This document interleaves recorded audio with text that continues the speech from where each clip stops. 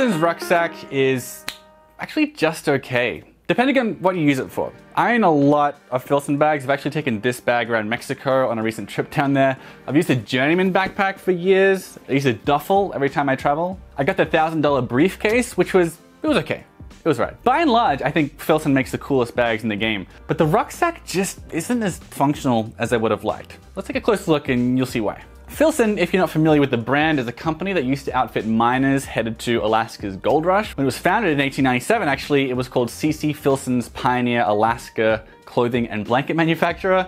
Today, people don't use them for hiking the Yukon as much as they use them for looking really cool in Manhattan. And to be clear, I don't think there's anything wrong with that. The products are typically really well designed and really overpriced. I always say that you're never happy you paid for a Filson product, but you're glad that you own it. This bag is actually the only thing Filson has ever sent me for free to review. Unfortunately, it's my least favorite bag, so they may never talk to me again, but you might like it. This is a very simple bag. While the Journeyman has a laptop sleeve and interior pockets and water bottle holders, the rucksack is just this big old cavity here on the inside. You know, there's an open pocket on the back, which you can't put much in before it's too uncomfortable on your back, but you know, like a wallet or a slim book can work. And there are these two front pockets. Uh, that's it. It, it's very rainproof with this big old flap that you have to buckle down every time you use it. But you also have to buckle this big old flap down every time you use it. Otherwise the buckles like jangle around, which is annoying. I've tried it. So every time you want to get something out of the bag, even out of the, the front pockets here, you have to go through this whole rigmarole of like unbuckling and rebuckling. Now, you can leave it really loosely buckled on like just like the, the front one if you want, and then I guess you can still get stuff out but it's just not the most practical design for getting anything out of it. But let's talk about the materials though. The materials are great. The twill is from England actually, it's made by British Millerain. And whereas many of the company's other bags, like my Journeyman backpack, are made of tin cloth, which is their name for waxed canvas, this is twill. So both canvas and twill are both types of really densely woven tear-resistant cotton.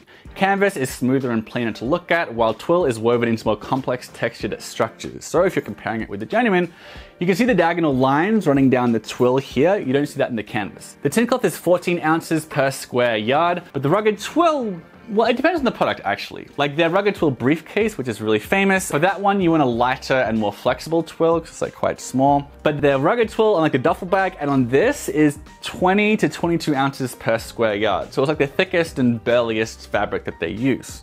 Contrary to popular belief, this twill actually is slightly waxed. It's not as waxed as their tin cloth though. It's a superficial application called an aqueous wax finish.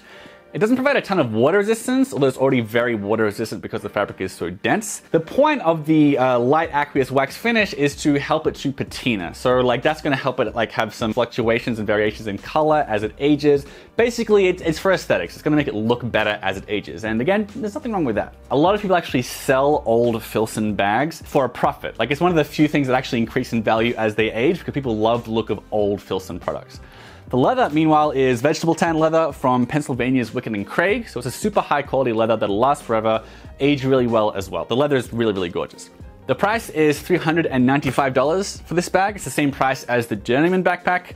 I'm pretty sure the rucksack used to be cheaper. It was actually under $300 many years ago, and not too long ago it was cheaper than the Journeyman, but they're the same price now. Filson stuff is expensive, but I actually I encourage you to shop around for American-made canvas and leather bags because they're not usually much cheaper. I've got an article in the description below with a dozen good competitors to Filson, and if you're prioritizing made in America, you're unlikely to get anything for under 300 bucks. In fairness to Filson, so it's expensive, but that is just that's this type of product is expensive. Okay, so what do I think of the bag? I don't like it and wouldn't recommend it. It's not without its pros. The materials like the twill and the leather are primo, the top of the line, the best of the best. The bag will age really, really well. It looks pretty cool. Like it's a bag that doesn't make you look like a student or like you're going camping, at least not too much. And it's very pickpocket proof. Like it's a very, very secure bag. These belts will keep anyone out of it. If you're in a tourist area, it's good. Like it's a good travel bag in that regard. There's also a downside though. As someone who has been traveling around in it, it's more than a little frustrating that it takes so long to get into the bag when you're on the go, and you have to buckle it closed every single time you want to get moving again. Like it's not a good everyday carry bag because it's annoying to open and close, even though that makes it, again, very secure. You can buckle it very loosely like this, I suppose. So like, you know, maybe you think I'm being too harsh in the bag. It's still not very easy to get stuff out of it, especially if you got a book. Like that's gonna get stuck on these belts here though, right? But maybe you think I'm being too harsh on it because of how annoying it is to get in and out of it. Fine. But there are other problems with this bag. Like if you stuff a lot of things in the bag, then numerous problems arise. Number one, the straps are attached pretty far down its back. So when it's fuller, even if you're using the tightest setting on the shoulder straps, the top of the bag pulls away from your torso and falls kind of weird. Like the weight distribution is weird. It doesn't feel good on your back. Especially if you, have, if you have like shoes in the bag, they tend to jut out into your back a bit because the back of the bag isn't very structured, unlike the superior Journeyman backpack. So it carries weight weirdly, which is far from ideal for a backpack. But number two, the straps are unlined, so it's incredibly uncomfortable once there's any amount of weight here. If you're wearing a thin summery shirt with this bag, as I was on the weekend, it cuts right into your shoulders. I'm in the middle of listing lots of faults right now, but that might be the biggest issue. Like it, it hurts to use. It's a pretty big downside.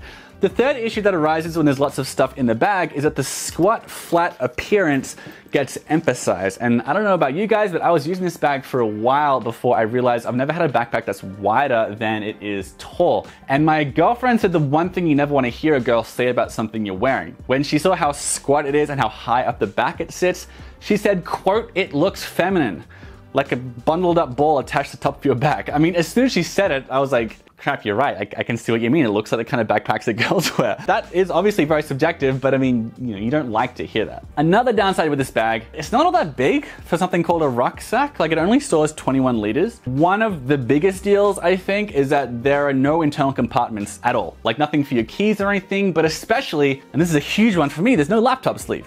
I know that it's an old timey bag and everything, but no bag should be without a laptop sleeve now, right? And that simple fact alone easily reduced the number of times I was able to use this bag by like 80%. I always have my laptop with me, and that was really, really annoying. People on Filson's review site talk about using this bag to carry their laptops and this and that, but like they must be placing it and protecting it with their clothes or something, because there's no sleeve. And if I'm not bringing a bunch of clothes to swaddle a laptop in, then I'm not bringing it out in this twill bag.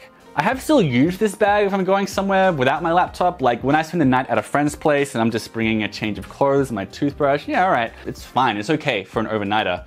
If I'm just bringing some clothes and toiletries and no laptop, sure. All right, but there are too many things the bag is bad at for me to recommend it, unless your priority is something that can't be pickpocketed. In that regard, it's Filson's most secure bag. Nonetheless, if that was your priority, I'd still tell you to buy something with some shoulder padding and with a laptop sleeve. All right, that's my review of Filson's rucksack. Uh, the Journeyman solves just about all the problems that I was complaining about with this. It's got a more structured back, got a laptop sleeve, it's got uh, places, it's got an internal pocket and everything for your keys. Uh, it is easy to open on the go all these other shoes. And it's also very water resistant as well, even though it doesn't have this big flap because it's got a storm flap. I like the Journeyman way, way better. If you're getting a Filson bag, I suggest getting that one instead.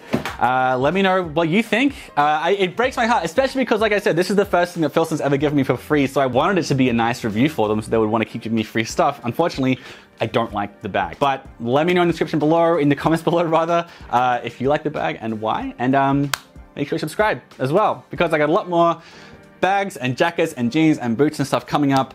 Probably no more free Filson stuff, but you know, I'll keep buying the stuff that I want to review anyway.